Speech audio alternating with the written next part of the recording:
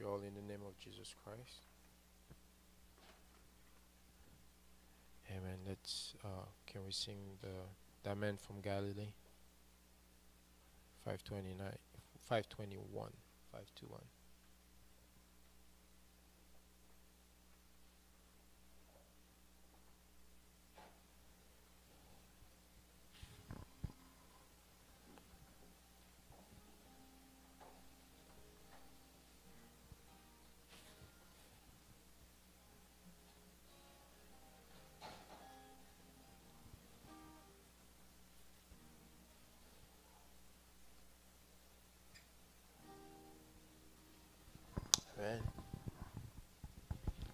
start with the chorus, please.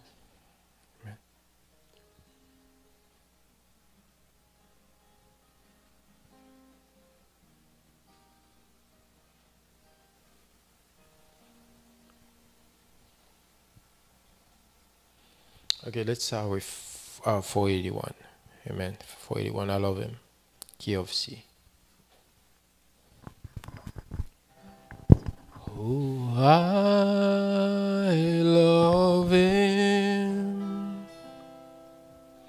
I love him because he first loved me and purchased my salvation uncapped.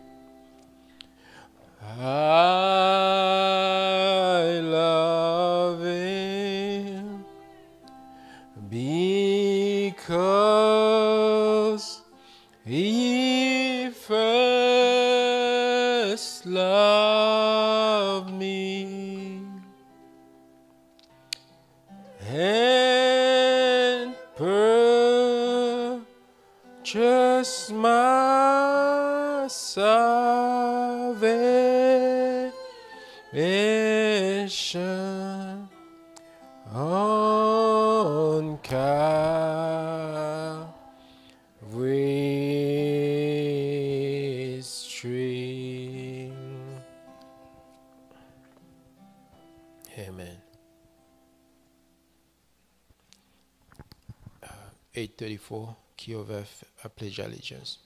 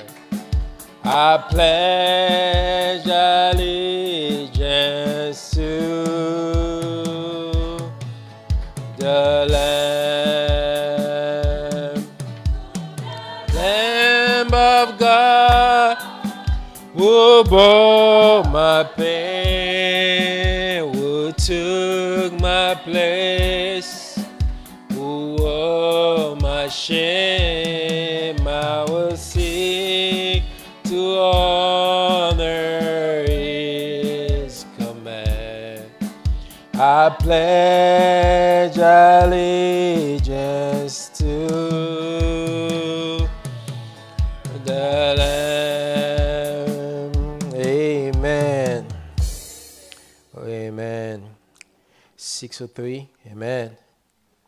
Amen. Key of E flat. Oh, E flat, yes. What a friend we have in Jesus. All our sin and grief to bear.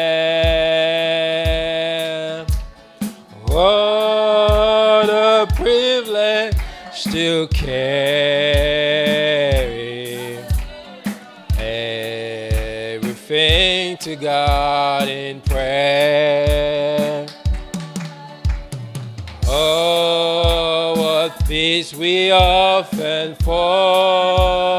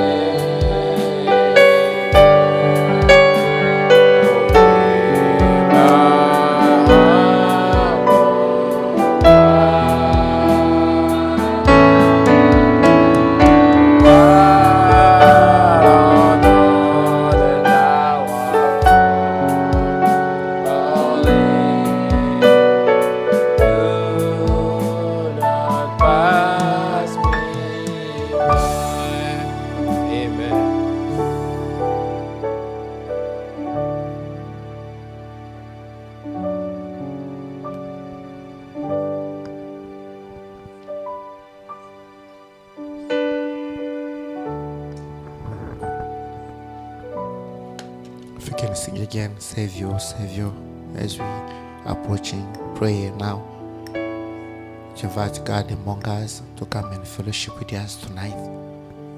Let us pray that God may come and anoint every part of the service. Anoint the man of God who will be standing behind this pulpit and speak to us. Just confess your sin. Ask Him, oh God, don't let anything hinder you to come among us tonight. Savior,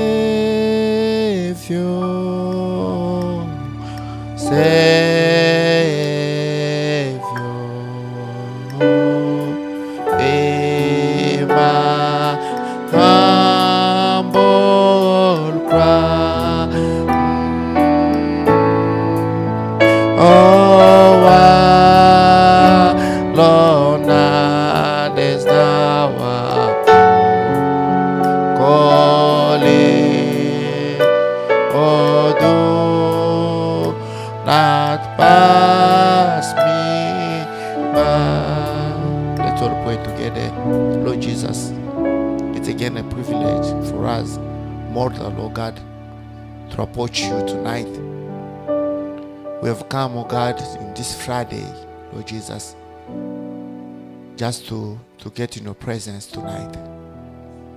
You said wherever two or two, three are gathered together in your name, you'll be in the midst. Here we are in this building, oh God, more than two, more than three. We we just, oh God, bowing our head before you to invite you, oh God, by your grace, by your grace, to come tonight among us, Lord, and fill this place with your presence, Lord Jesus. We have a desire, a longing desire in our heart to get closer to you, oh God. To be in your presence, Lord Jesus, to receive something from you. That's why we have come, Lord Jesus, tonight to be in your presence. Oh God, we have come to thank you for keeping us since Sunday that we left, oh God, from this place. Your grace and mercy, oh God, is bringing us again in this place, Lord Jesus. Oh God, let us take advantage of this privilege, oh God, to confess our sins, Lord Jesus. Forgive anything that we have done wrong, oh God. Forgive anything that is coming from our mouth that did not please you, Lord Jesus. Forgive anything that we have watched, oh God, we have thought, oh God, that did not please you, Lord God. Oh God, come, oh Lord Jesus, by the blood that you shed on Calvary, wash away our wrongdoing, oh God. Do not let anything hinder you to come and bless your people tonight and bless your people, oh God, in your presence. Oh Lord Jesus Christ, we love you. We appreciate you. That's why we are here, so we can get closer to you, Lord Jesus. Answer our prayers, Lord. Help us to be filled with the Holy Spirit. Help us to be born again, oh God, because you don't have grand, grandchildren. You have only sons and daughters. We want to approach you like our Father. So, oh God, by through, through the new birth, we can be children. We can be daughters and sons. Would you like to come and give to every one of us the true new birth as we are in your presence? Lord Jesus, to commit the whole service into your hand. Would you like to bless, oh God, the men of God who will be standing behind this pulpit, oh God? Put them in aside, Lord Jesus. You know our need. You know every step of our life. And come and speak to every need, oh God, tonight. Come and minister to our souls, oh God, tonight. We're calling upon your name, oh God. Come among us. See your people, oh God, with the hand lifted up. Oh God, different need hidden, oh God, beyond this hand lifted up. Would you like to look, oh God, from above and give every one of us our heart desire and minister to every need, oh God, tonight. You know our heart and you promise to give us our heart desire, Lord Jesus.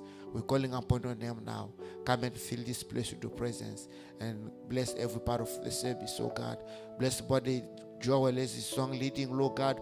Anoint him in a special way, Lord Jesus. Send your angel to worship with us together. Bless the musician. Bless the usher the door. Bless every part of the service. We commit all into your hand, Lord God. We love you. We appreciate you and waiting on you tonight because you ask all these things. In the precious name of our Lord Jesus Christ, we pray. Amen.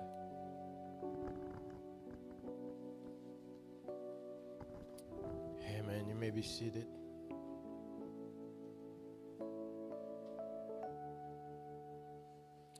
Amen. 828. Give me Jesus.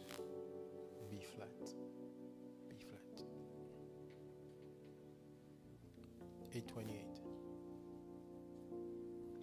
In the morning when I rise,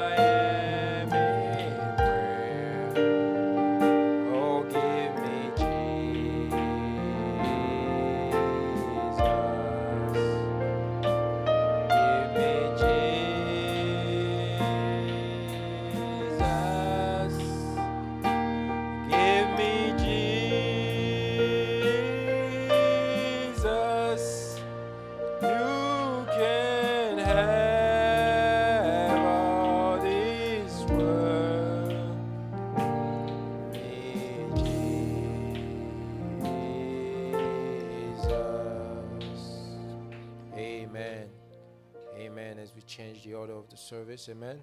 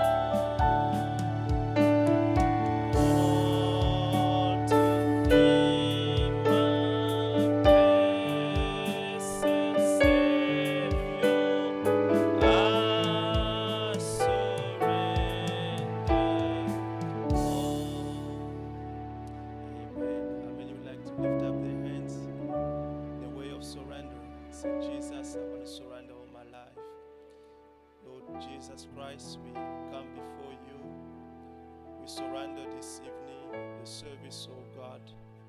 We surrender all that we are. We have nothing good that we can offer, but we're offering you our lives. We're offering you the breath, oh God, that comes out of our mouth. We're offering you our spirit. Lord, we're offering you everything that we are. Come, Lord Jesus, even in this very short time that we have, that you will manifest yourself. Oh God, if there is anything, any hindrance in our life, Lord Jesus, anything we've done wrong in this life, we pray that you will forgive us. Let there be nothing to hinder you to come and move in our midst. Oh Jesus, we so want you in everything that we do.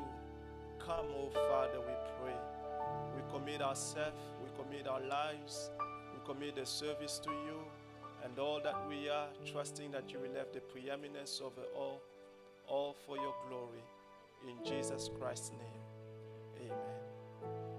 Amen. Amen. God bless you. We can take our Bible, the book of Ephesians. Thank you, musician.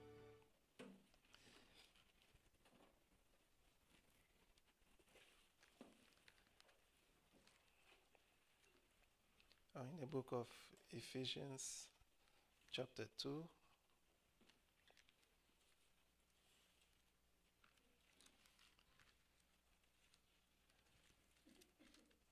And uh, after Ephesians chapter 2, we read uh, Habakkuk chapter 2, verse 20, that we've been reading uh, lately.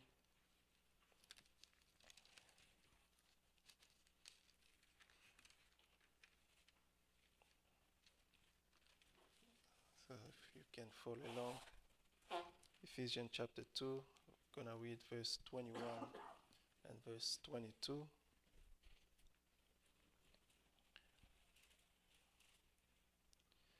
In whom all the building fitly framed together groweth unto an holy temple in the Lord. Verse 22 In whom ye also are builded together for an habitation of God through the Spirit. And when he say in you, put your name there. You are not just an individual, but as Paul will say, you were builded. Your life was shaped, was builded to uh, and framed together groweth unto an holy temple in the Lord. And also you were builded together for an habitation of God through the Spirit. Someone will define your life as as many way. Science can have a different way of defining what life is, what human life is. But to you and I, who believe this message, our life has a simple definition. It's an habitation of the Almighty God, the Holy Ghost, to come and dwell in. In Habakkuk chapter 2, verse 20, uh, we read this scripture uh, few times. We probably will be closing on this thought tonight, Lord willing. Habakkuk chapter 2, verse 20. Uh, if you find the book of Habakkuk uh, from Malachi, you go Zechariah, Haggai, I guess, Zephaniah, and then Habakkuk. Chapter 2, verse 20.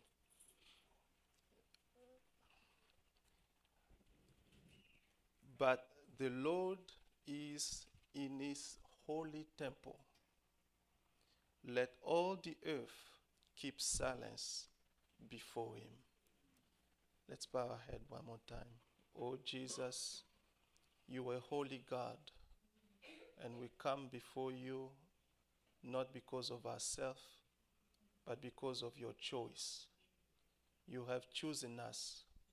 We did not choose you, but you did choose us. We did not seek you, but you sought us and you find us. Oh God, we pray now, even in this little place, may your presence be filled. We commit ourselves to you. Speak to us, we pray. In Jesus Christ's name, amen. Amen. You may be seated. We count this a great honor before the Lord uh, to be able to stand uh, before you. Uh, it's uh, we were away last last weekend. We went to visit the saint in Idaho, and we had a good time there. There was um, three young men that was young people that was baptized for the same family. And it was just a, uh, a, a blessing to be there. It was actually kind of a special weekend for me, uh, and I, I really thank the Lord that if there is a way you can celebrate another year in your life, is to try to do something for the kingdom of God. That you know, uh, few young people can give their heart to the Lord Jesus and desire to be baptized and give their heart to serve the Lord. Actually, one of them we were just talking, and I asked just to be curious what you know brought you to come to that decision. You know, certainly there came a time where there was a conviction in the heart, uh, but you know, I just like the answer that one of them she gave me. She said that she just wanted to get more closer to God. And she believed that by taking that step and that decision, it's to just uh, draw her more closer to God. And I believe that's a desire of any believer is to get more closer to our Lord Jesus Christ. There is nothing of this life can satisfy us. Our only satisfaction is when we are in His presence. And I trust that that's the desire that will never be uh, uh, go away in our hearts as believer to just want to be closer to God. Even this evening, we just pray if if it will be just one word or or two that will help you to get more closer to God. And God is not in number. God is not in a special day. God is not in a special place. You know, God is infinite. God can come and meet you in a time where there is probably not a lot of people. God can come and meet you at a time where might not be a special day or what. God is, is God. You cannot put him in a box. And we just want to free ourselves tonight and trust that he will come and he will meet us. Amen. We consider this a great privilege to stand uh, before you, and we thank the Lord for that. Last time we were speaking, and this will be probably a close of this thought. Uh, this uh, thought, He is in His temple. And if you will uh, remember the title, uh, it will be probably part three, and uh, we'll probably close in this thought. In the title, there is everything belongs to God. In my title, when I say He is that God, in his temple. It's not somebody else's temple, but that temple belongs to him, and he's there in his temple. Last Friday, uh, I spoke here as uh, we were thinking of the great Almighty God. You know, Brother Branham said that there is seven dimensions, and not to uh, go back on that, but we all know God dwell in the seventh dimension. And there is no record in the Bible or in the message of people going and living there. So it seems to be a holy place of God where the archangels, those who are there in God's service, they will bow their head. They, they look at themselves so unworthy, so unclean to be there in the presence of the Almighty God. And He dwelled there. But you will find out as we be going with you in the scripture, it never satisfied God to dwell in that dimension. With all the glory that he could receive, with all the, the, the, the praise and all the, uh, the glory that he could receive, he was not pleased by that. As you will know the story in the book of Genesis, uh, maybe you can turn with me. In the book of Genesis, uh, chapter 2, right after God finished the creation, because the Almighty God wanted to see his attribute being manifested. Now just imagine, it's not to say that this is what God think, but I will say, as human being in our thought, just imagine all that you know is that someone coming and give you praise. Someone coming and give you praise. For millions of years, uh, uh, billions of years, holy, holy is our God. Holy, holy is our God. Holy, holy is our God. You know, probably the first few times you'll be ex- uh, uh, exhorted about it, but at a certain time, you, you, you want something more than that. And I'm just thinking as a human being, you want something more. There is something that craving, there, there, there is just more than holiness in me. There's just more than power. There's just more than uh, uh, or whatever that, that, that, the, those beings are seeing about me. And God was having that craving. And the craving was not just to be uh, considered as a holy God, but his craving or his desire, his longing was to manifest his attribute. This will be, uh, this is uh, somewhat like something very simple uh, for believers of the message. He wanted to manifest his attribute. In him, there was an attribute of being a healer. In him was an attribute of being uh, uh, the redeemer. In him was the attribute of being the savior. There was oh plenty, uh, uh it's unlimited the uh, attributes of God. It, it's unlimited the potential of our God. So there is so much that Brother Branham even said that it will take us a all eternity to discover our God. So it will take us a whole eternity to find out even more of the attribute of God. In this life, we know this much, but there is just so much, so unlimited, that it will take us a whole eternity. And we know eternity has no end. So, which meaning that there is no way that you will fully know God in His power, in His potential. But now He was there in that dimension, all being holy, holy, but God said, I need to step up.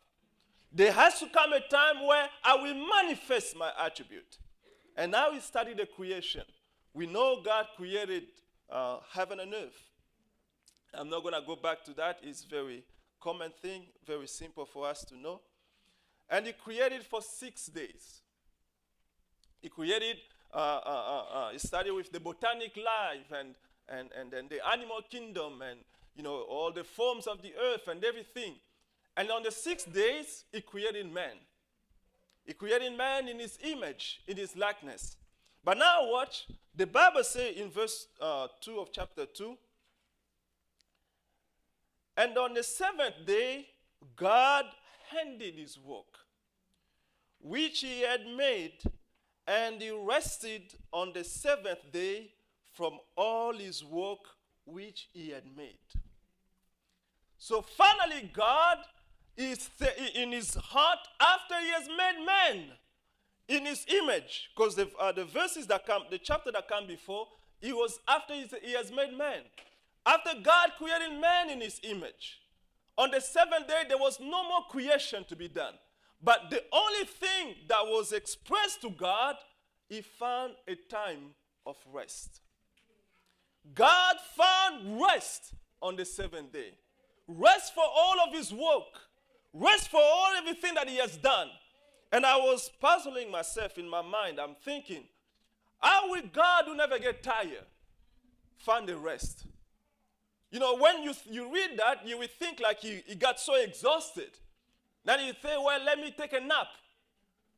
Uh, let, me, let me take some rest. How will God find the rest? How will God rest like us human being? So in another way, if you, uh, uh, uh, uh, you, you, you, you go uh, and look into the, the glasses of the scripture, you will find that the rest of God is when he can enjoy his, his creation. And the fullness of God's creation was humankind, Adam and Eve. Now, the rest of God was when he can sit down and fellowship with his son, and fellowship with his creation, and fellowship with Adam and Eve. Then God can say that I am fully satisfied with what I have made. I can talk to him. He's thinking like me. I can commune with him. He's talking, he's thinking like me. His life is like me. His thought process is like me. Adam could have come. One time I spoke with you. He will come at the eve of a day. God will come and ask Adam, What happened? What did you do today? You know, Adam will look and say, You know what, Father? I was walking. I saw this mountain out there, over there, and I thought this mountain was not supposed to be there. And I just spoke to this mountain, move from this place and go back to the other way. And the mountain moved, and then I make a way this way. And then I look around and I saw this animal. It was so big and so powerful. And I look at the nature of this animal and I call him Leo the lion. I call him this. I call this one this. And God look, he was saying, This is my expression now. That's what that's my thought being expressed. God did not name the animals. God did not name, but he, he, he, he could have seen through Adam the expression of his thought, the expression of what he was thinking. Adam continued the works of God, and God was seeing the fulfillment of his attribute in the life of Adam. Now he found a peace. He found rest. He can say, Now I'll rest. Not that I am tired, but I see the continuation of my work. I see the person that I have created being in my image, being in my likeness, and I can come. We can talk together on things that concern us. But what I'm saying, just as the Holy Ghost was there to govern uh, uh, the, the, entire uh, universe, to create the entire universe, to govern the church, God also placed Adam in Eden to be like a little God to the rest of the creation. And that was the continuation of God's work. And God found his rest on the seventh day. Not that he was tired, but he found his rest because he can fellowship with his children. He can fellowship, he can commune with Adam and Eve being there in Eden. That was the rest of God. Now let's turn in uh, Isaiah chapter 66. Uh, we read those things last time we spoke. Isaiah chapter 66, verse 1.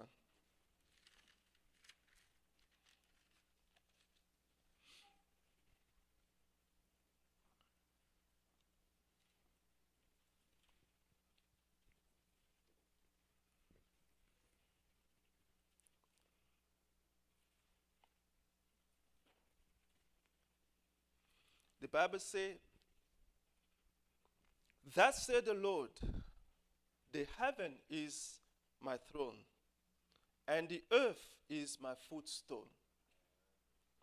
Where is the house that ye build unto me, and where is the place of my rest? So you see, the whole thing changed now.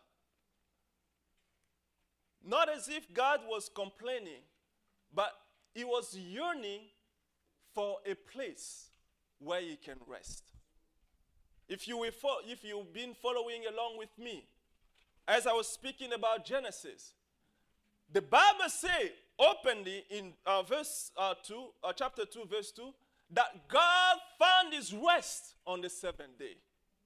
And now, the same God, by the mouth of Isaiah, is saying, Where is the place of my rest? Where is the house that you have built in me? Where is the place? Not like I will get tired, not like I will get, uh, uh, uh, you know, I overwork. God will never overwork. He never get tired. If he done something today, is it's more than 24/7. He's always present. He does not get tired. He does not get overworked. But he said, "Where is a place where I can come and I can find a rest?" Where all the works that I see, all the things that I see will be a continuation of what I had in my mind. Will be a continuation of the attribute that I have in my heart. Where is that place of rest? Israel was going on. They have all kinds of things. The temple was there, but the Bible said that the, they make a temple like a, the table was full of vomit. The table was full of things. They will give the offerings with that, uh, not from their heart. They will do all kinds of things, not from their heart. And God will look at that and say that the table is full of vomit. I have no, no, uh, no, no place to dwell there. The temple was there, but I couldn't go there. The, I cannot find the rest there. Isaiah could have said, or the children of Israel could have answered Isaiah and said, But there is a temple there.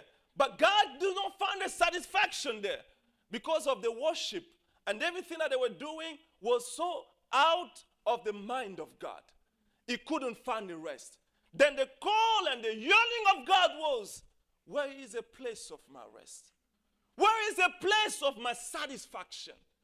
Where is a place where I can fully be rested? He was yearning to find that place. Just as he had with Adam, he could have said that the seventh day is the day that I have found a place of rest. I found a man. I found a child. I found someone in my likeness, in my image, that I can come and I can rest with him.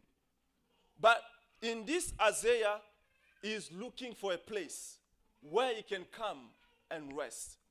In another way, he's looking for a place where he can come and commune with men, where he can come and fellowship with men, a place where he will be the father. He will come and he will sit down and he will talk to his children about what happened in the days. He will talk to the children about what he had in his mind. It's not about a church. I'm, I'm trying to get ahead of myself here. It's not about just a church. It's not just about a place or a location, but a, a, a, a, dwelling place of God where God can come and start commune with his children. Just like Jacob one time, he was burning in his heart. He went on to a place and he prayed all night. He was yearning. And then he was sitting there. He, he fell on his uh, asleep. The Bible says he had a dream. And in a dream, he saw a ladder that, that was uh, set up to heaven. An angel was ascending and descending, going up and going down. What happened? He found a place of rest. And he said, This place will be called Bethel, the house of God.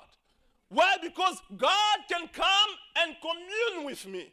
The angel will ascend, they will take my burden, they will go up to God with the burden, and they will come back down with the answer.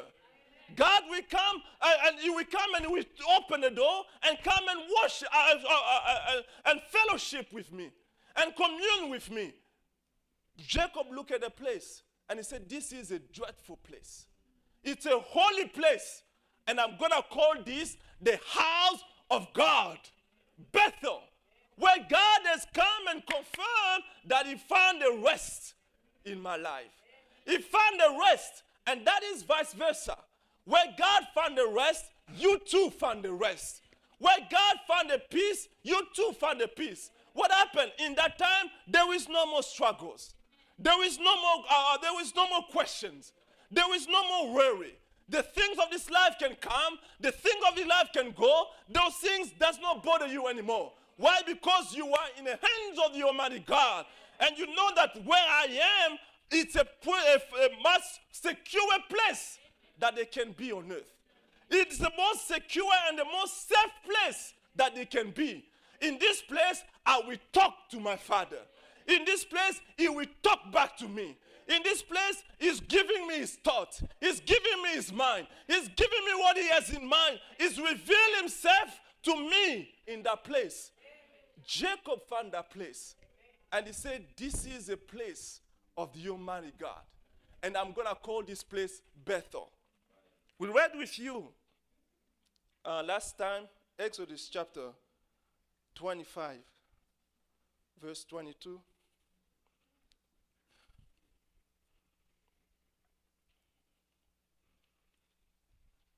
I'm not going to go deep on explaining it. I did that, I believe, last time we spoke. The Bible said, and there I will meet with thee. That's Moses speaking to the children of Israel. And it's, uh, uh, if you start from verse 25, the Bible said that, uh, verse 1, uh, the Bible said that, and the Lord spake unto Moses, saying, Speak unto the children of Israel, that they may bring me an offering of every man that giveth it willingly. with his heart, ye shall take my offering, and this is the offering which shall take of them. And then he start naming all those offering. And if you find out that all those that they were bringing, whether it be gold, whether they be uh, uh, uh, woods, special woods, or special whatever, they bring it. They were bringing it to build a place, to build the tabernacle. And now God tell Moses, as explained last time, all the the the the the, the, uh, the shape and the structures of how the tabernacle is supposed to be. God tell Moses, this is how you're supposed to do it. This is how you're supposed. And this was not just some ideas, but God took the man of God, He took the prophet of God, and lifted him up into the seventh dimension where God was sitting. And He said, Moses, look, look how the archangels sit. Look how the cherubim, they have the wings crossed together. Look how the mercy seat is. Look where I'm dwelling. And he said, You will have a perfect copy down on earth. And Moses was copying exactly what was holy over there on the other dimension. And he was not doing it just in his own, in his own mind, but that was the design, the blueprint of God Himself. Now, verse 22, the Bible said, And there, after you build, you build everything, and there I will meet with thee. And I will commune with thee from the above the mercy seat, from between the cherubims which are upon the ark of the testimony, of all things which I will give thee in a commandment unto the children of Israel. So Moses, after he built everything, after he made uh, uh, uh, all the design and all those, uh, uh, those, those structures and things and, and the, uh, the images and, and, and, and, the statues and all the, the things that are supposed to be there, it was not just haphazardly. It was made and designed from heaven. And Moses, after he built that, God said, This is the place where will come and I will meet with. This is a place where I will come and I will commune with thee. I will love to have fellowship with you in this place. In another way, if you follow along with me, this is the place where I can come and I will rest. Where I can come and I will find myself a place of rest. I will find myself, I will call this to be my place. You know, just to kind of go ahead of myself, Many nations came. They took over Israel. And this uh, uh, place, one nation, the Philistines, one time they did it, the mistake. They came and they destroyed, they, they, they overtook Israel. Israel was in sin in time of Samuel and Eli, the prophet. They, they, were in sin. And then uh, uh, God uh, uh, uh let the, the, the, the, the, the, Philist, the Philistine come in and take over. The Bible said that they took the mercy seat, they took the Ark of the Covenant. And as they, were, to, they took the Ark of the Covenant, they were going out. A woman that was pregnant, she cried, Ichabod, the glory of God is gone. The glory of God, the presence of God, the resting place of God has left Israel. Now, that presence was a blessing to the children of Israel, but not to the other people. It was a curse for them. And it's so funny. The first time I read it, I was pretty young, and I just, you know, died laughing when I, I, read it. You can go read it, I believe, in book of First Samuel. Uh, can't really recall the exact chapter, but it's uh, at the beginning of the ministry of Samuel. What happened? As soon as the the, uh, uh, uh, uh the ark was in the, in the hands of the Philistines, to the children of Israel, it was a blessing the presence of God was there. God will come and dwell, and they will have ministers. They will have a, a, a priests going on. They will have all kinds of things. God will come and bless them. But to the Philistines, it became a curse. They all start having stomach ache. They have hemorrhoid. They have all kind of troubles. They couldn't survive. Why? Because they had something that was not belong to them. It was not supposed to be there. And I was just, uh, when I was a kid, just dying laughing. Just imagine the whole nation, all of them running to the bathroom, all of them having troubles from the king all the way down. Why? Because they having that blessing was not for them. God never found a rest for the, Philist- the Philistine. But the resting place was to the children of Israel. The resting place was to the sons of Jacob, was to the sons of Israel, was for those that God have selected, the few one. But to the rest, it was a curse. And they took the same, that, that, that Ark of the Covenant, they bring it before the God. Oh, look what our God has done. You know, our God has destroyed Israel. Now we have the, the we are sub, we, we, we are, they are submissive to us. And they put the ark in the presence of the God. That was Dagon. And that God was standing there at night, a statue. The next day they come in the morning, they find the dead, that, the, the statue on the floor, on the ground. And I was wondering what happened. That little ark of the covenant was not just some piece of wood. Now you have the piece of wood of the God uh, uh, uh, of, of, of the Philistines, and you have God the man who told Israel to design these things. They took maybe the same material as the, uh, as the Philistine did to build the statue and everything, but this one was designed from heaven. The same material, but a different designer. God Himself was the designer. And as soon as He stood there, that Dagon God fell down. And they came, they thought maybe something happened. Maybe it was loose, uh, uh, out of balance. Maybe let's put something to secure this uh, God in this way. Maybe let's put this uh, this more safe and this more uh, thing to secure. And the next day they came down and the God was down again. And they came out. They realized we have something that we should not have supposed to have. Now to you to see, I'm not talking about that uh, that Israel was worshiping that uh, ark, but I say the design of the ark. They took probably the same materials, but the design was the inspiration of God. The design was coming from heaven, was not the man, man of man, or an idea of Moses and some, some sacrifice, uh, some priest, but it was a design from heaven. And because of that, the result was different because of the presence of God.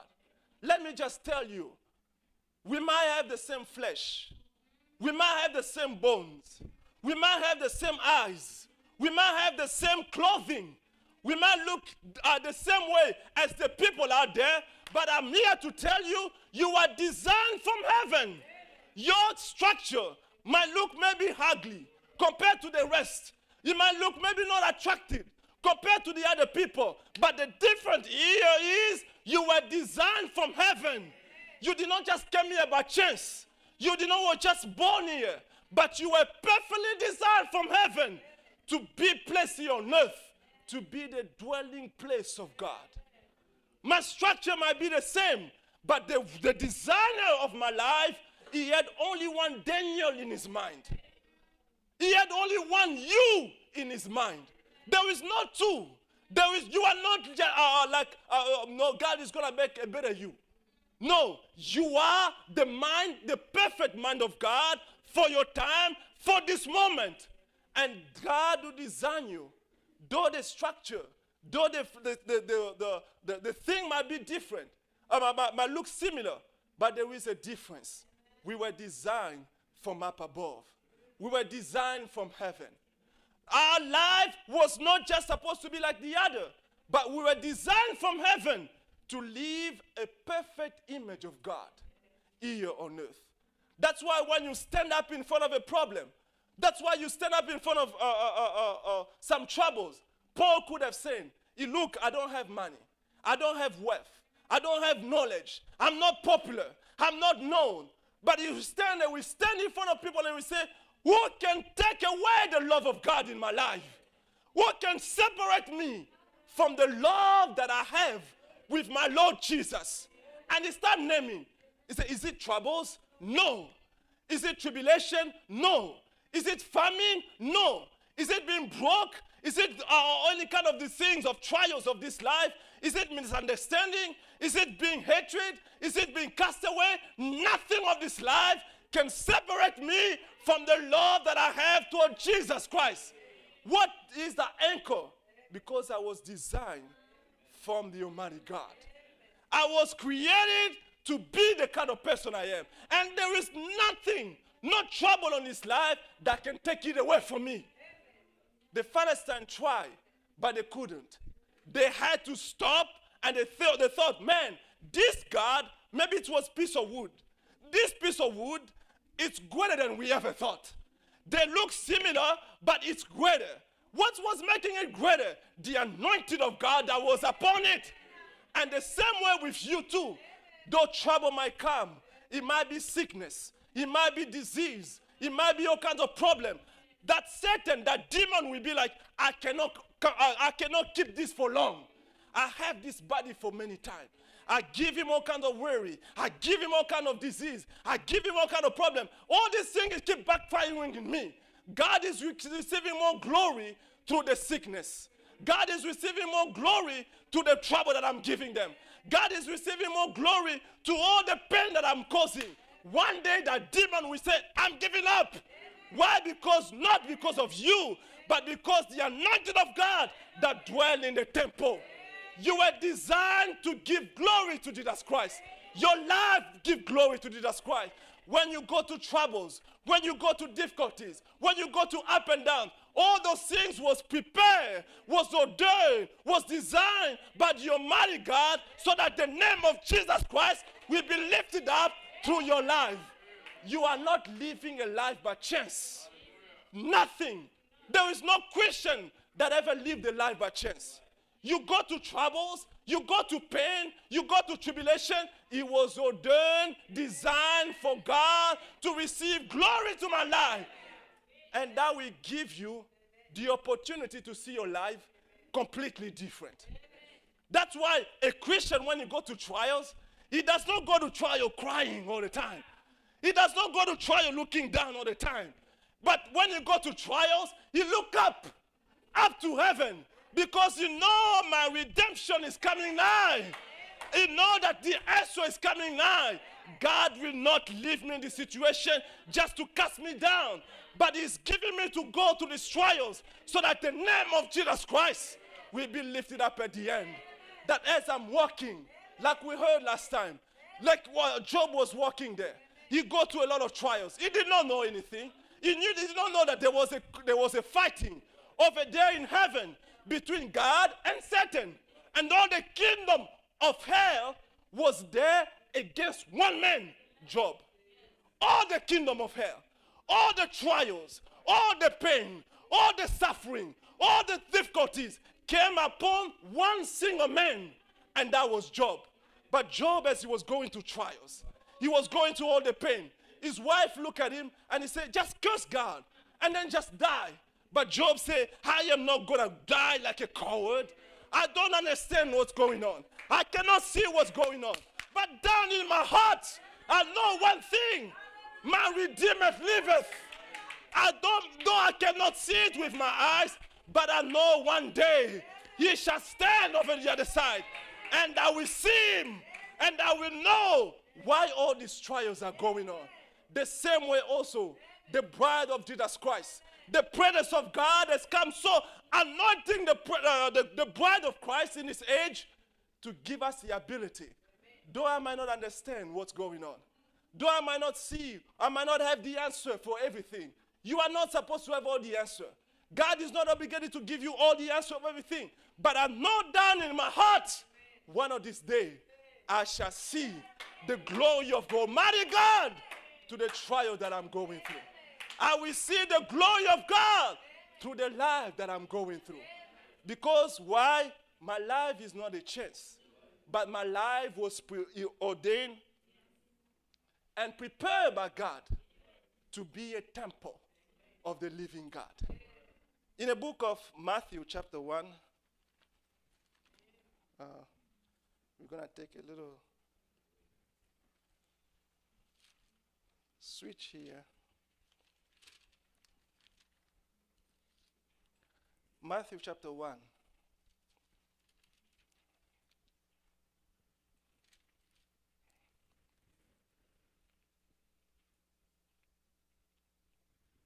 I'm going to read verse 1 first and then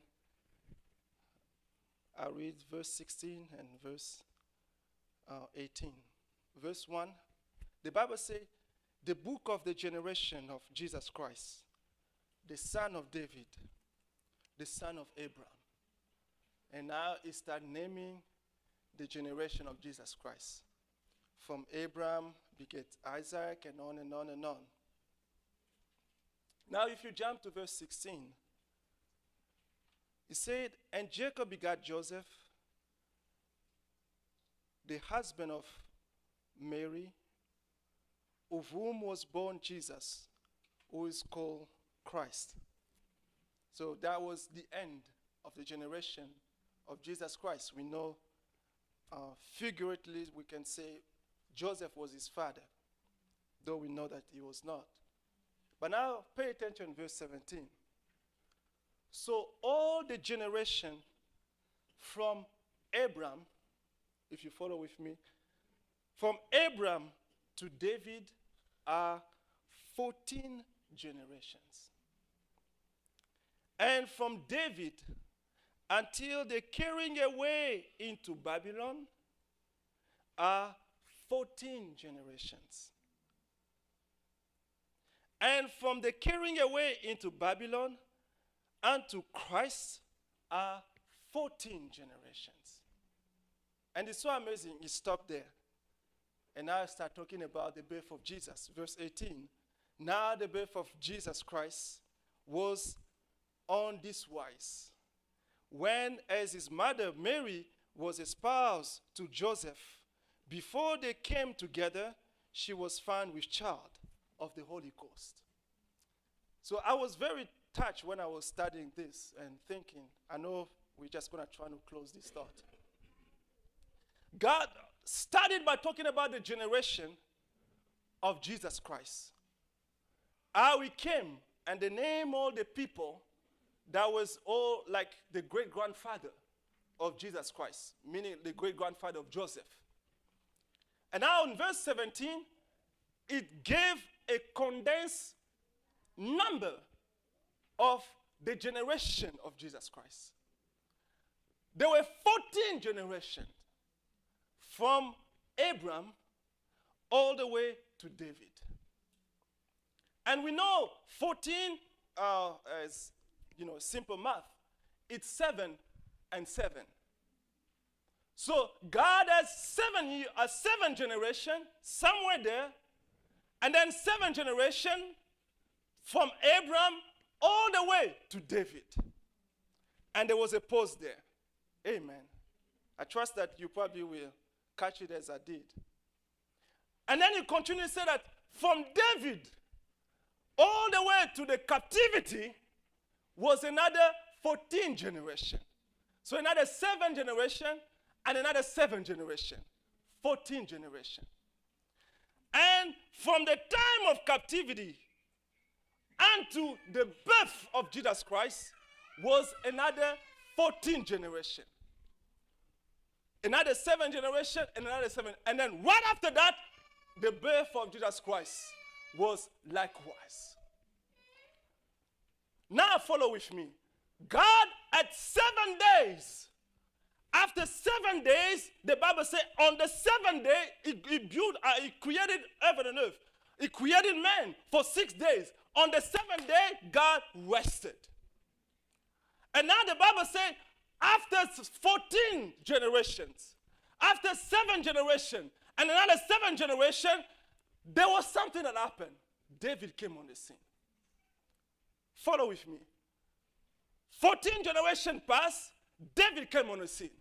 But if you read in the book of Exodus, I'm not bringing a new doctrine, it's just a scripture. Uh, Exodus chapter 12, verse 6. We all know this story.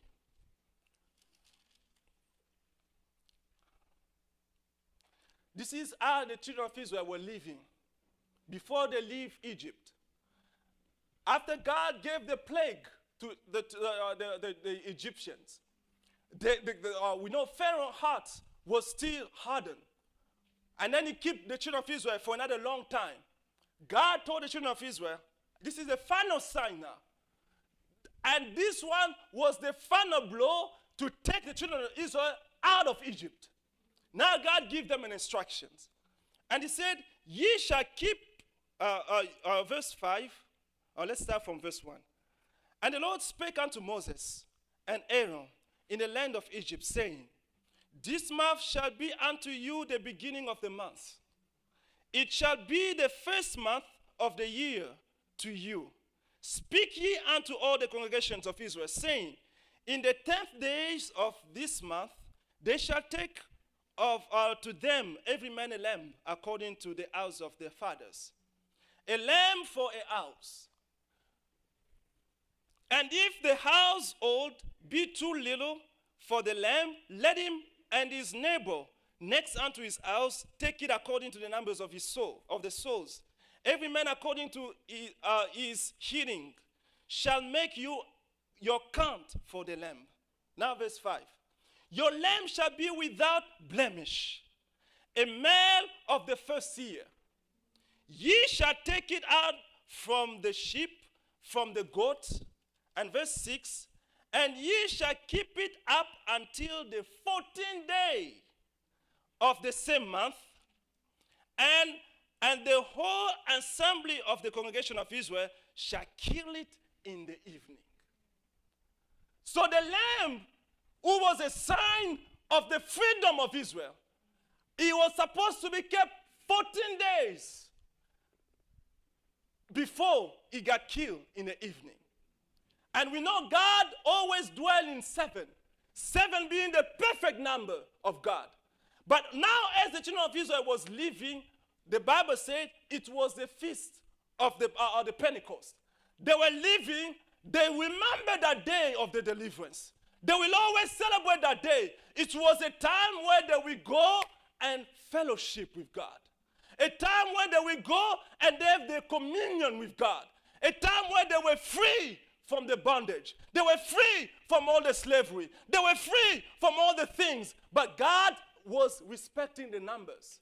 He said the lamb will be kept for 14 days. And now Matthew, writing the generation of Jesus Christ, he did not just write this number by chance, but he said, from the time of Abraham all the way to the time of, of David, there was 14 generation. And then he named another generation. From David to the time of the captivity, there was another 14 generation. And uh, from uh, the time of captivity all the way to the birth of Jesus Christ, there was another 14 generations. I'm not trying to worry your mind, but if you took all this, you will see that there was seven and seven, seven and seven, seven and seven. There was 16 or six gener- of seven generation that did line up in this three generation. But now, when it came the seventh generation of the dispensation that God has to the children of Israel, at the seven generations, because at six days, God created man. He created the he created heaven and earth. On the six days, man was created. But on the seventh day, God came and said, I'm not doing any creation. I'm finding my rest here. But now Matthew writing down the generation of Jesus Christ. And he said to people, this did not happen by chance. But God always followed the pattern that he had in the Bible, in the world. Now it took six generations of seven days, of seven uh, uh, uh, generations. It took it seven, and then on the sixth generation, there was no creation. There was nothing to tell. But the very first verse, the second verse that came, the Bible said the birth of Jesus Christ was likewise. What happened? The same Lamb of God, just like the children of Israel, they keep the lamb for 14 days. And uh, Moses tell them, in the evening time, you will kill the lamb. And the lamb will be a sign of your freedom. You will take the blood of the lamb. You will put him on the length of your house. You will put it at the door. And when the angel of death will pass by, when I shall see the blood, I will pass over you. I will not kill you. But now Matthew writing down, and he said, at the sixth of the seventh generation that God has given to the children of Israel, came the true Lamb of God. Jesus Christ was born on the seventh days, on the seventh generation is born as the Prince of Peace. Is born as the solution for all the troubles that Israel could have had. In another way, God is telling Israel, in the same pattern that I use to save you from your bondage, to save you from your captivity, I will use the exact same pattern. I use all these people as a pattern to show to you at the birth of this man, this is my only chosen son, to whom I am pleased to dwell in. From this person, as the lamb will be shedding his blood, as the lamb will be killed in the evening, as the blood will be shed, you will be free from your captivity. You'll be free from anything that have abandoned you. You'll be free from any condition. All that you have to do, any condition that you might have, you take the blood of Jesus, apply it upon your doors, apply it upon your life, apply it upon the situation. And when the death angel will start passing by, when the trouble will start passing by, when it shall see the blood of Jesus Christ, apply as a token on the seventh day, at the day of peace, then I will pass by. The trouble will not enter in, but I will pass by, and you will be saved not because of your own merit, not because of your ability, but because of the blood that was shed at Calvary, because of the presence of the lamb that was given. And the lamb was killed at the seventh, at the end of the generation. Jesus, as the Lamb of God, was killed at the end of Israel generation. Amen. And now we see God who had, like I spoke in my beginning, on the beginning of this thought, God has in a desire to want to fellowship with humankind. He created Adam and he said, I found peace. I found rest. Now I can rest. Now I can talk with that person. Now I can commune. If you follow, I don't want to worry your mind, but if you follow, as I was reading, uh, studying this, uh, the book of Matthew, you will see that Abraham offered sacrifice to God in a place in Mamre. And he called that, that, that, that place and he was worshipped. It was between uh, uh, Bethel and Ai, I believe, the place. And every time Abraham will come, he will go to some troubles. He will always remember, God met me in this place. And he will come back and find his rest there. Now, 14 generation, going back to what we read, David came in his heart. David had in his heart, he said, I am going to build a temple for God. The first human being to have that desire to build a temple for God. God told David, because you shed a lot of blood, I am not going to let you, but your son will, will come and will build a temple. The temple of David was built. God came in the book of Chronicles. He came through uh, uh, uh, Solomon and he rested there. They said the pit of fire came. The glory of God came. The, uh, uh, the, the, the, the priest couldn't do anything because of the presence of God was filling this enti- the entire place, the entire building. Now the Bible says, from the time of Israel or of David, all the way to the time of captivity, the temple was destroyed. God did not stop there. He rose up people, Ezra, Nehemiah, and uh, Joshua, uh, uh, uh, and all those other people, Zerubbabel, they built another temple. And God came and found a place of rest. But now, from the time of the temple that was built, all the way to the time of Jesus, Jesus was now the fulfillment of all the resting place of God. Jesus was the embodiment, his body was the temple of God.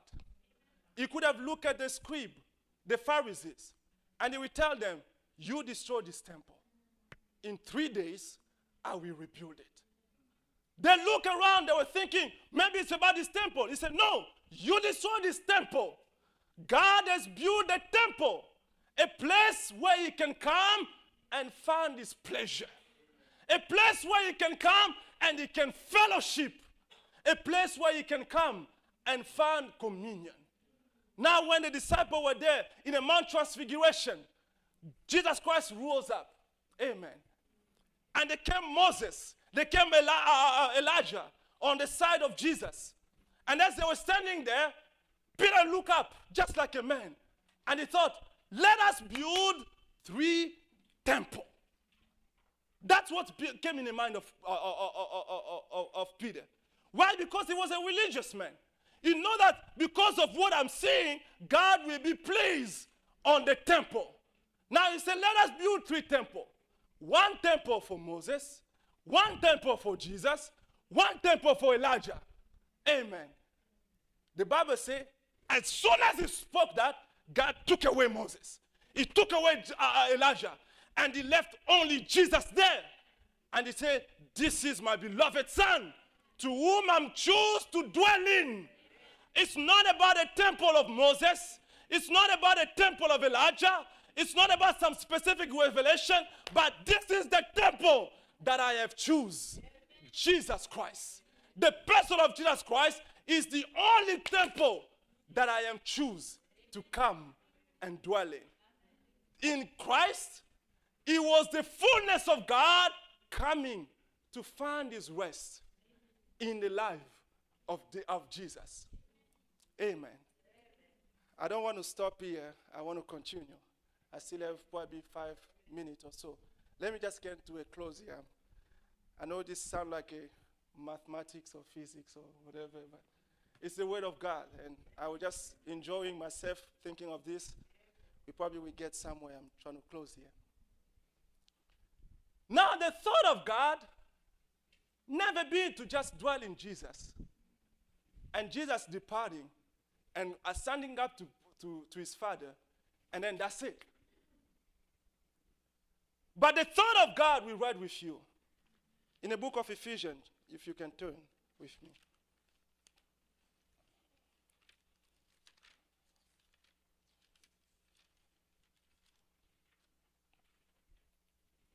The thought of God, Paul says, in whom ye also build it together for an habitation of God through the Spirit. The same way as God used all this temple, the physical one, the one that man could have seen. But now Jesus becoming the person that God can come and dwell in. God also promised you as an individual, you as a people. Jesus says before he leave, and he said that the time will come, and the hour is already come, where the, you will see the Father be in me, me in the Father, and me in you, and you in me. God always longing for that time where He can take the true temple of God.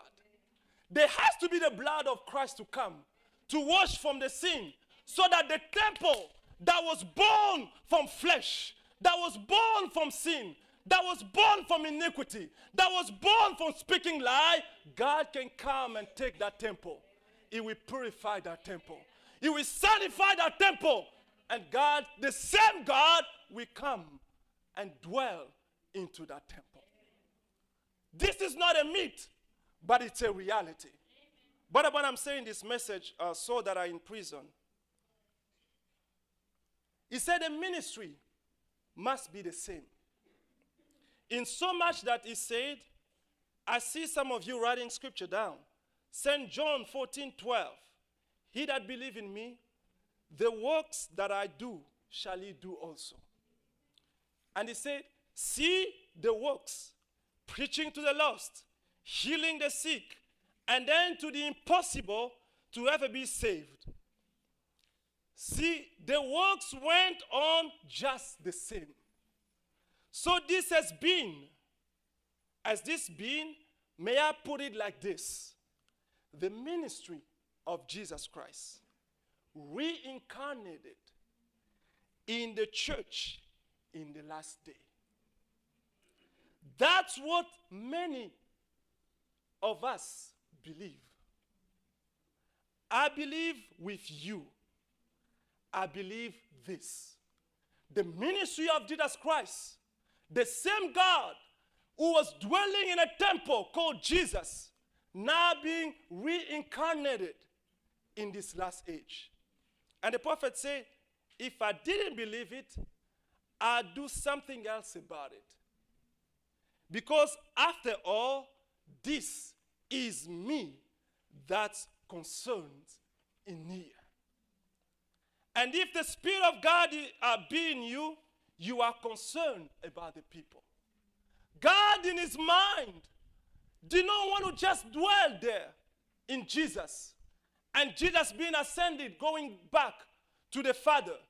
But the desire of God is to take a temple, is to take men and women born and shaped in iniquity, that God can take that person.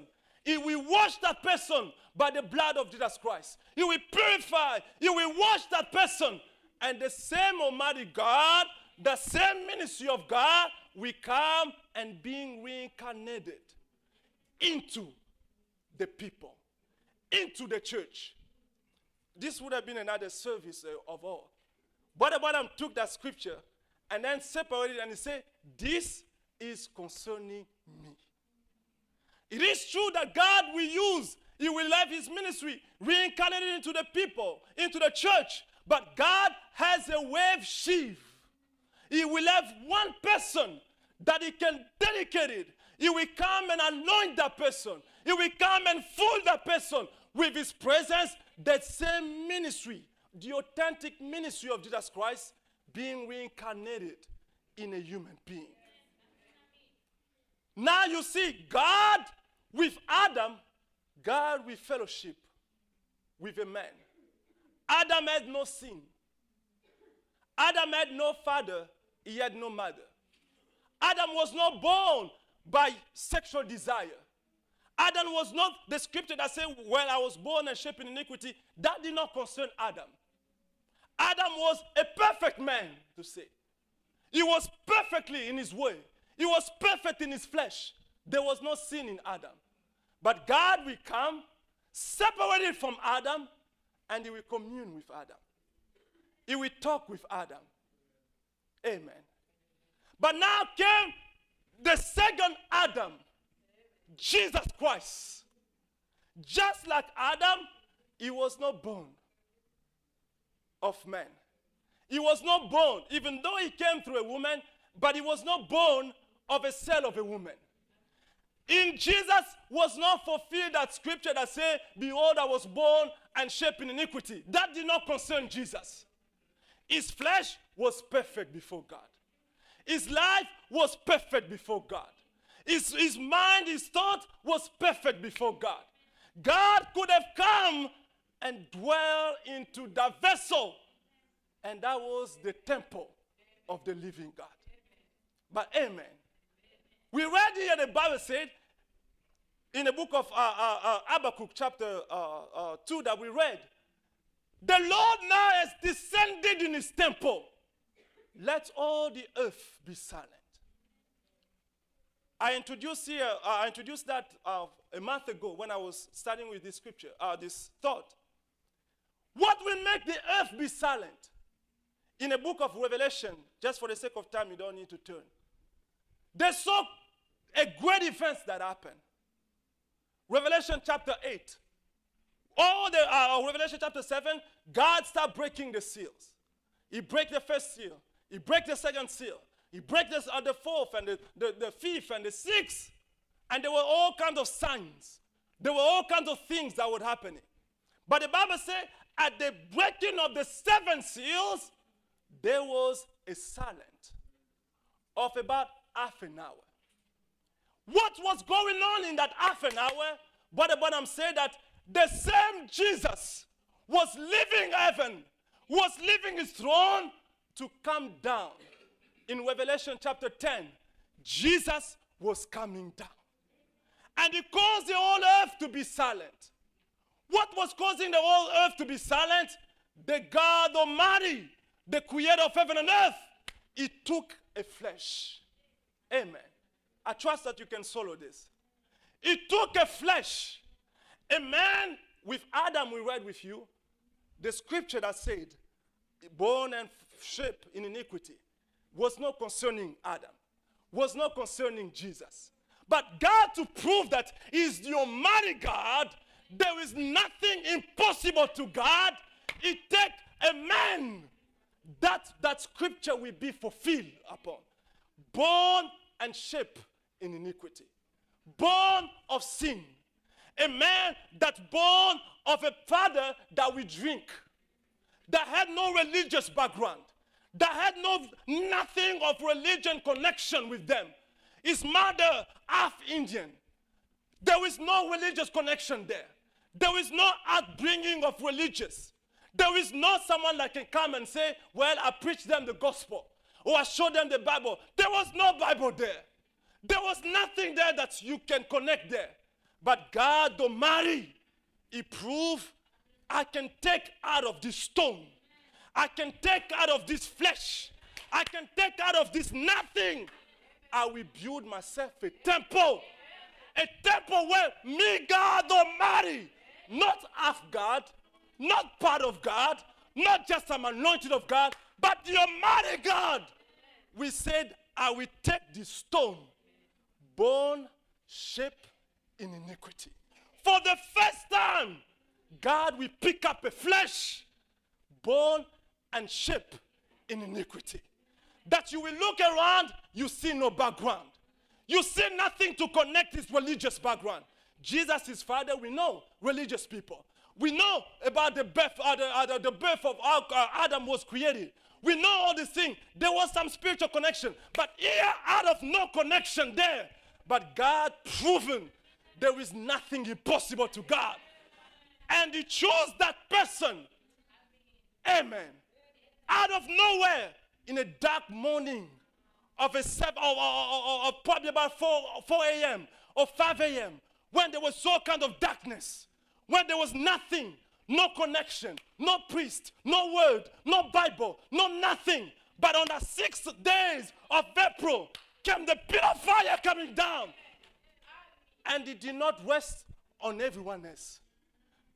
The pillar of fire came, the baby who did not know anything, the man who did not know anything, the father who had no background. But the pillar of fire came and rested upon the man, upon that baby, to prove to humanity, to prove to all religious men, to prove to the entire story of the plan of redemption of God that God can take something out of nothing and make a temple out of it. There is no connection there. There is nothing that you can bring about religion there. But it was the sovereign choice of God. He said, Behold, now I have found myself. Not I have found myself, but I have built myself a temple. And now, from that person, fulfill the scripture that we read with you in the book of Habakkuk, chapter 2. Habakkuk could have seen the Lord God Almighty living there in the seventh dimension. All the archangel going, Holy, holy, holy is the Lord God. Holy is the Lord God Almighty. That pillar of fire that came, all the glory of God. But now all those glory of God came down to dwell in a temple, to dwell in a human body, to fulfill Revelation 10 7, to fulfill Luke 17 30. The Lord God Almighty dwell in the temple. Now, when the man stand up, amen. I hope you keep your balance. That was not just a man talking. That was not just a man talking.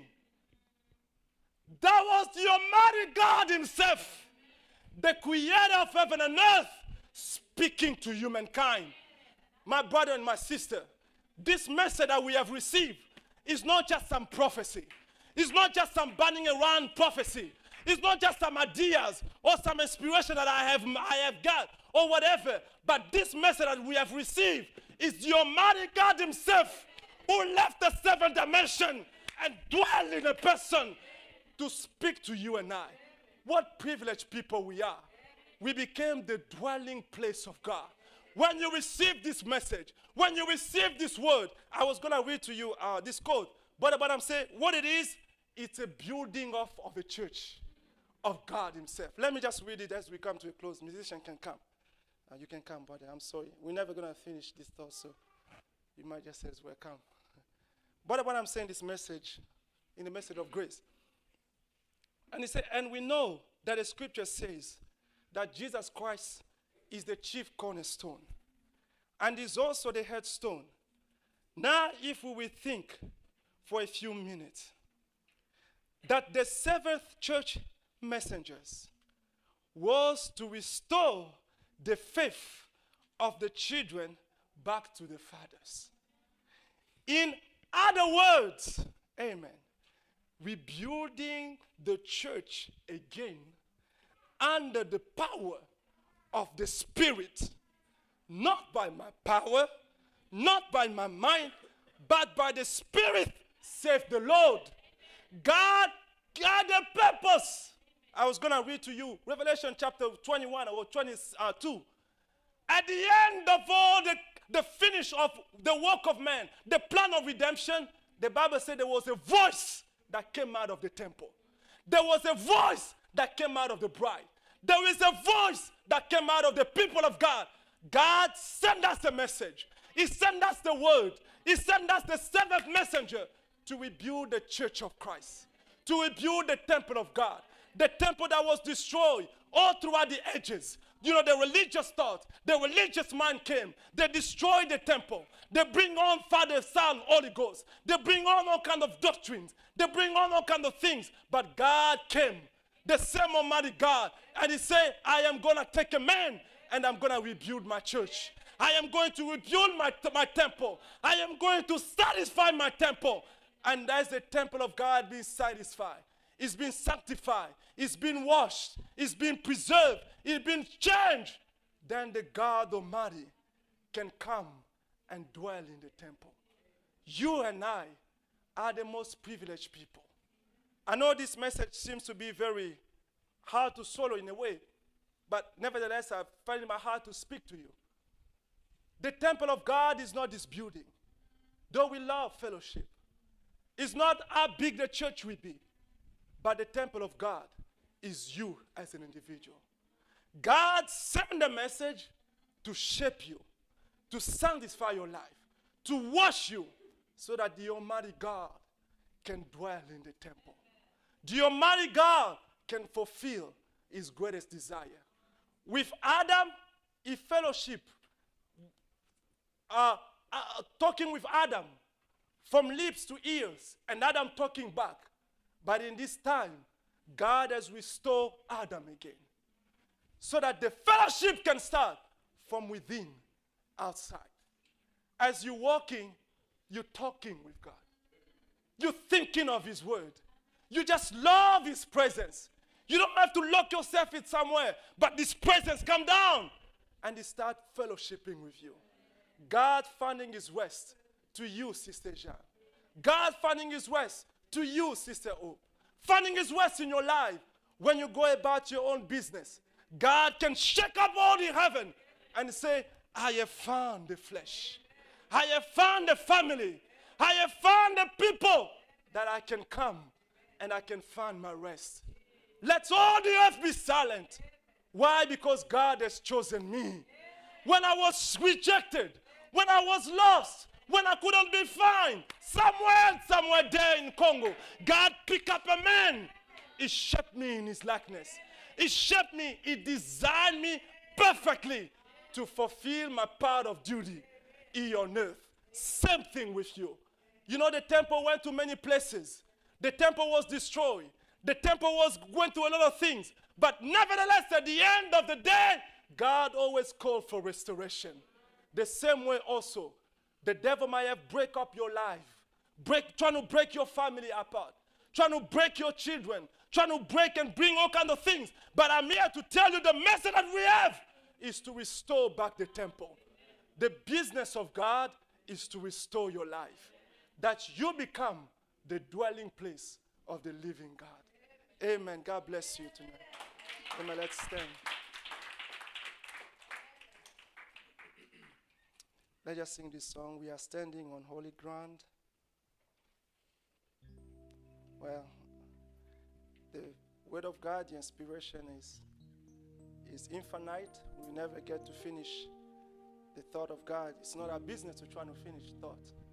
But I trust that something I was saying tonight was an encouragement to you. Let's all stand. We are standing on holy ground. We are standing on holy ground. I don't know what the enemy might have tried to bring in your life. And I know that his business, his job, is always to point to you, to your failure, to your shortcoming, and things that went wrong. And he will go and, about and battle with your mind. But if there is a word that you can tell the enemy, don't brag about anything, don't look for any solution, but just tell the enemy, tell Satan, I am the temple of the living God. All those trouble that you're bringing in my life, just remember one thing I am the temple of the living God. Not of my choice, not of my ability, not of anything that I've done, but God chose me to be a temple of the living God. That's enough, my friend, my brother, my sister, will be enough to give you courage to stand against all the odds. If God will love his presence so much that he have all the angels camping around in his presence, the Bible says, for those who believe, those who have received, the angel of the Lord is accompanying around you and walking in your life. It's not you alone walking, but you are a temple It's not just your house, but it's the temple of the living God. It's not just a church, but it's a temple of the living God. If you have that, that, that, that realization, then what's the point of being afraid? What's the point of being afraid? All those problems that you see, they are merely insignificant in the presence of God. But I'm standing by faith. I know where I'm standing. I am a temple of the living God. Though the world might not understand me, but I know for sure one thing I understand.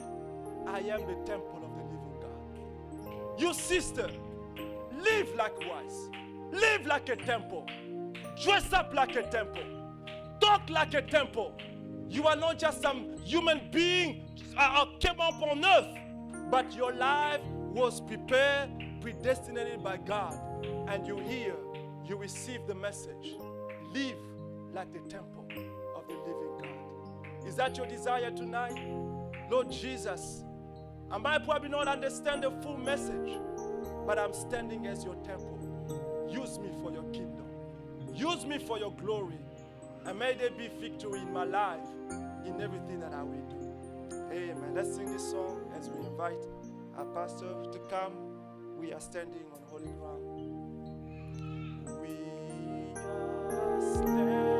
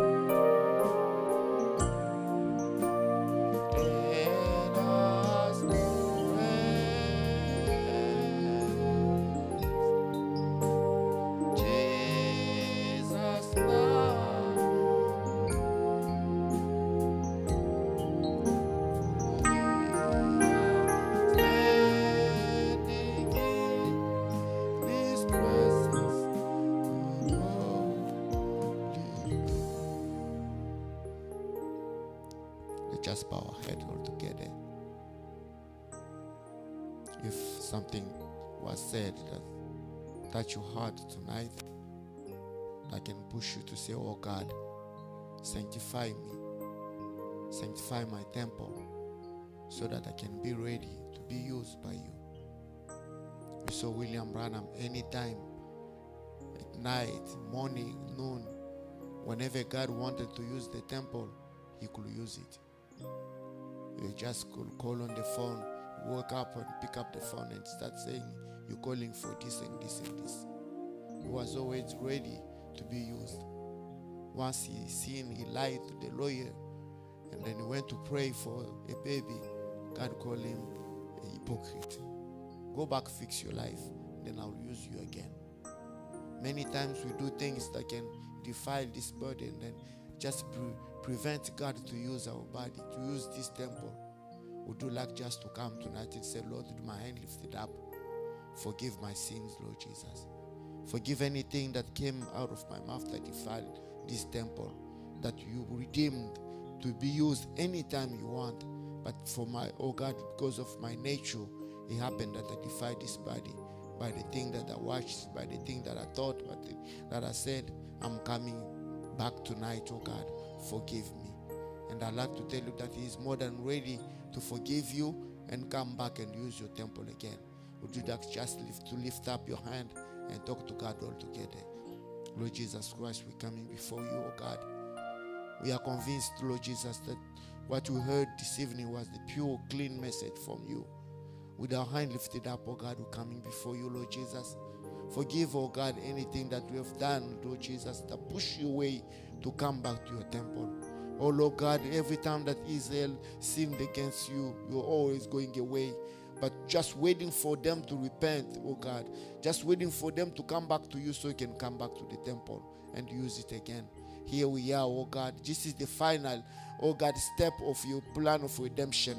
To have a man born in sin, shaped in iniquity, that can be the temple of God that you can use day and night, that you can use, oh God, rain, sun, under the sun, under the rain. Anytime, oh God, you can just use it. we coming before you. Like, oh God, in the same field where we, you took William Branham, oh God, like you wave it, oh God, that from this field will come a lot of sheaves. Here we are, oh God, in this house with our hand lifted up, Lord Jesus. God, look, look unto us, Lord Jesus, because of the blood we shed on Calvary. This is the moment, oh God. This is the final step.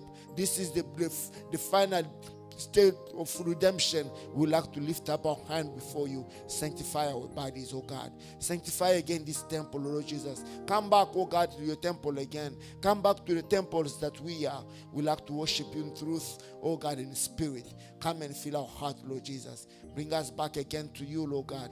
Use our temple again. Blessed be your name forever, oh God. Are we so thankful to you, oh God, to speaking to us, oh God, tonight, Lord Jesus. We are satisfied. We are happy that we hear from you, Lord Jesus. Bless the ministry of our brother. Oh God, bless him in a special way. Bless his family and bless everything he's trying to do, oh God. Again, oh God, we pray for our little congregation. We don't want to just come here in this house and call ourselves church, church, oh God. But we like to be the temple of Lord Jesus Christ. We like to fellowship with you. We like to come in this place and to listen from you, to talk back to you, God, as we're doing right now. We thank you, God, for touching our heart. Oh God, lead us for the rest of the journey, Lord God, and reveal us more, reveal unto us more about this temple. As we're all talking about this, come and dwell in your temple again. Blessed be your name forever, oh God. Bless your people that start here long time, oh God, listening. Bless every, every one of us, Lord Jesus. We pray also for Sunday service, Lord God. Come and speak to us again. Waiting on you, Lord Jesus. Bless your people as you commit all into your hand. Thank you for your goodness. Thank you for your grace. Thank you, Lord Jesus. Lord, prepare me to be a saint. Prepare me to be a sanctuary.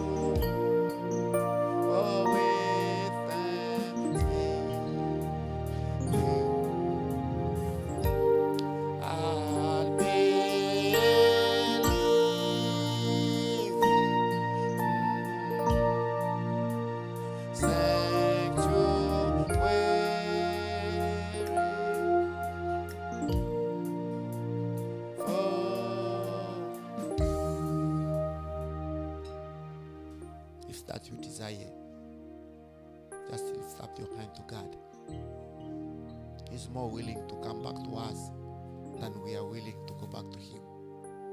He's more willing to forgive our sins than we are than we are willing to be forgiven. He's in this he's in this building right now, trying to come back to this temple. Just ask for God to sanctify it so He can come back. Let's all pray together as we're closing the service. If you have a specific need in your heart, just lift up your hand as we're closing the service. Lord Jesus, with a thankful heart, Lord God, we're coming before you, Lord God. We are privileged people, Lord God, to sit in this building and to listen to these kind of things. Oh God, to know that we are not created like others. We are not shaped like others out there. But you are created with a purpose. We are shaped with a purpose. And the purpose is for you to come and dwell in our heart and dwell in us. Lord God, give to every one of us that revelation from today to know that I am the temple of God. He shaped me, He, he built me, He created me with that purpose. Here we are, Lord God. It happened that we defiled this temple many, many ways and many, many ways, Lord God. But now we're coming before you. This is the, the reason why you shed the blood at Calvary. So that we can come and be purified, be sanctified again, oh God, so that the Almighty God can come and dwell, oh God, in our heart. Lord Jesus, overcome sins through our flesh, overcome sin through our mind, overcome this, this world, oh God, through us, Lord Jesus. We believe that, oh God, as we read tonight. Bless your people, Lord Jesus. Come back in our heart, oh God. We don't want to just come in this building to just oh fellowship with one another, which is good, but we like to be in personal contact with the creator of heaven and earth, fellowshipping with him, oh God. That's the reason why you created us. That's the reason why you shed your blood at Calvary. We like to come, oh God. Oh God, claim that power, claim that blood on us so that we can be pure, clean again to be used by our God. Bless your people, oh God. Bless your servant who used, oh Lord Jesus, and lead us for the rest of our life. Give us that revelation, oh God. Thank you for your goodness. Thank you for your grace. As we're leaving from this place, go with us. May your presence go with every one of us and keep us safe until we get home. We bless your name and pray also for Sunday service. Come and pray. Bless us again, oh Lord. We pray and trust and believe, oh God. In Jesus Christ's name we ask. Amen. Amen. Amen. We might greet one another. We dismiss in the name of Lord Jesus Christ. Amen. Till we meet.